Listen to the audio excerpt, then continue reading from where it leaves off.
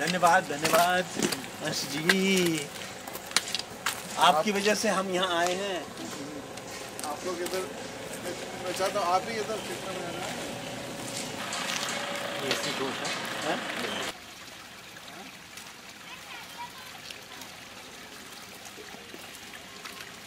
एक बंदे ने करा सब देख के जाता तो हूँ एक हथौड़े और छेनी से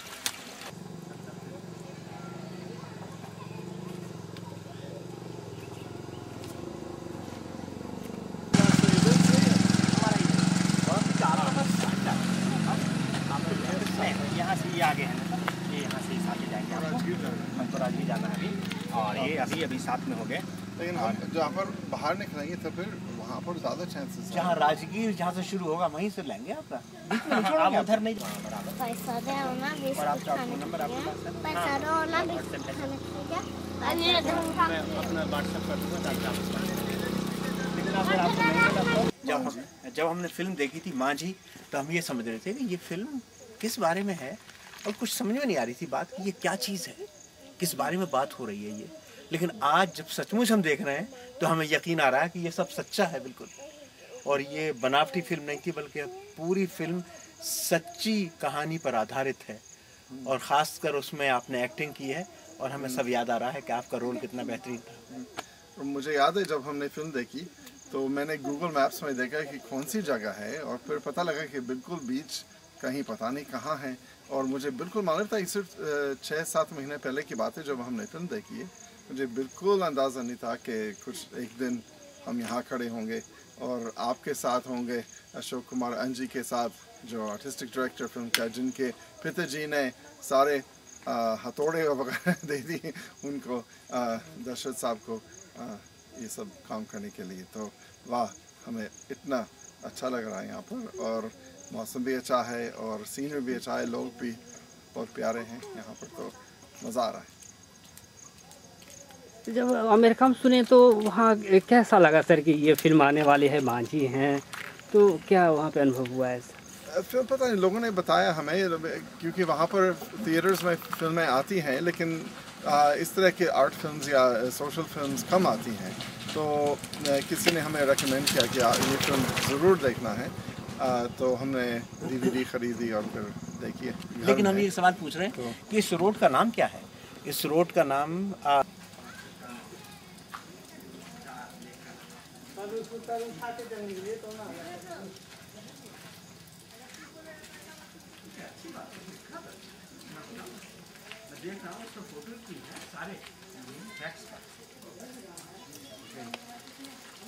इधर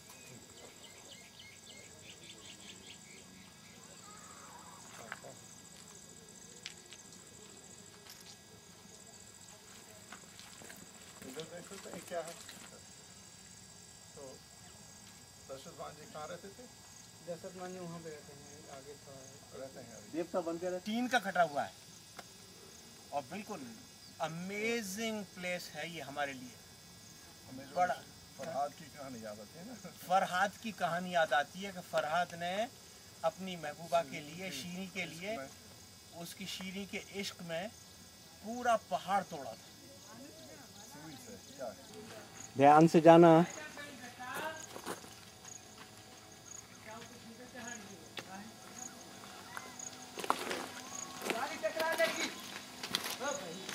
खूबसूरत लग रहा है। बहुत अच्छा लग रहा है। अशोक जी, आप हमें यहाँ लेकर आए। इसके हम बहुत बहुत आभारी हैं। इसका ये पूरा शूटिंग हुआ था, ये सारा हिस्सा। कमाल का है।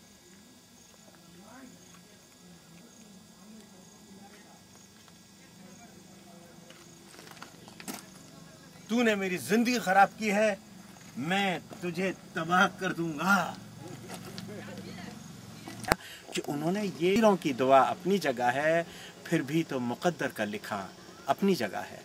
और जान भाई आप क्या सोचते हैं? आपके थॉट्स क्या आते हैं? जरा थोड़ा सा सेंटिमेंटल होकर दिखाते हैं। जी बताएँ सर देखिए मैं तो मैंने मूवी देखी और मैं बहुत मुतासर हुआ बहुत आ, आ, भावित हुआ।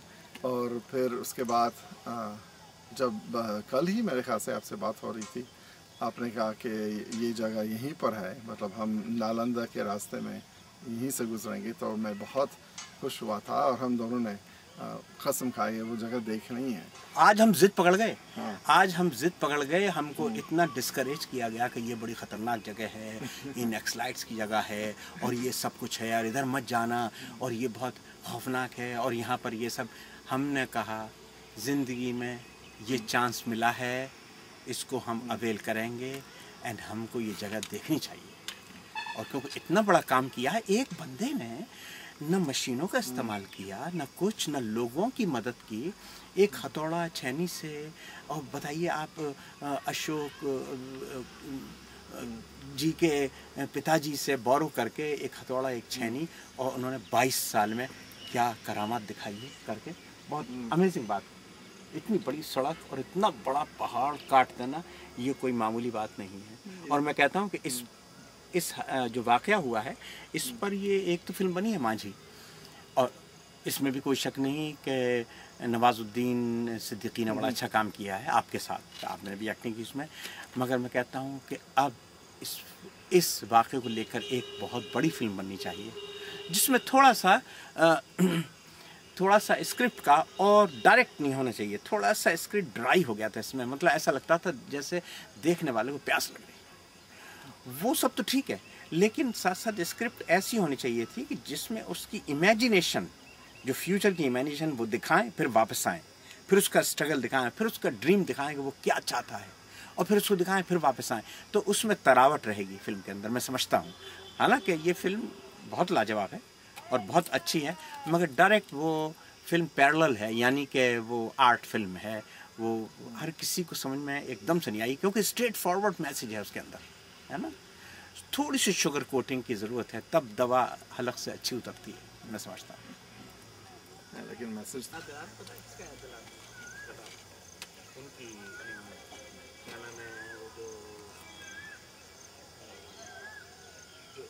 लक्ष्मण मानते हैं। लगता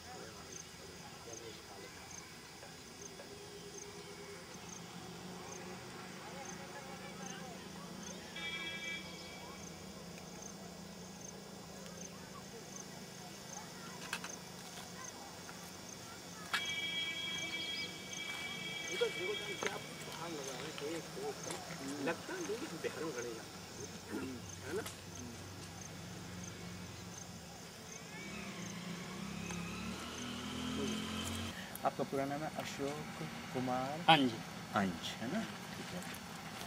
खातिन हजरात आज मैं आपको एक ऐसी जगह लेके जाता हूँ जहाँ आपको यकीन नहीं आएगा आएगा कि एक शख्स ने क्या करामात दिखाए हैं। आप देखिए इधर अगर मेरे सीधे हाथ की तरफ़ देखें तो ये जो इतना बड़ा पहाड़ कटा हुआ है और इसमें बाकायदे सड़क बनी हुई है। अगर आप देखें ये वाली। और उधर से आप अगर आएँ जान भाई दिखाएँ उधर से।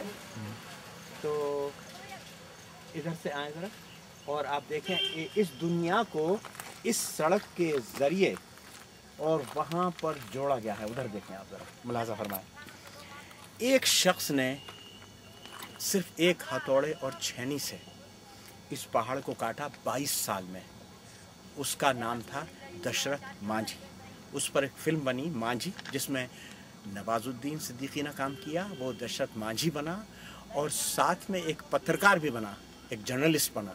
वो जर्नलिस्ट इस वक्त मेरे साथ मेरे बराबर खड़ा हुआ है और उन साहब का नाम है अशोक कुमार अंज। अंश अशोक कुमार अंज जी आपके सामने यहाँ मौजूद हैं। मैं इनसे चंद सवालात करूँगा और मैं चाहूँगा कि आप यहाँ बैठ जाइए।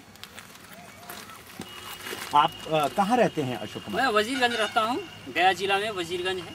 जिला गया में वजीरगंज में रहते हैं आप है ना?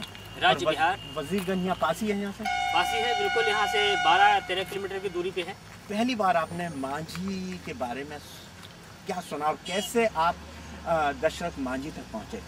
हमारे पिताजी दशरथ मांझी जी को पहाड़ तोड़ने के लिए छेनी और हथौड़ा फ्री में दिया करते थे। पहाड़ तोड़ने के लिए। क्यों तोड़ना चाहते थे वो पहाड़ को? इसलिए तोड़ना चाहते थे कि उनकी पत्नी इसी पहाड़ की ठोकर लगने से गिर गई थी लहूलुहान हो गई थी और वो घायल हो गई थी। अच्छा। तो दशरथ मांझी सोचे कि हमारी पत्नी जब इस पर्वत से ठोकर लग करके घायल हो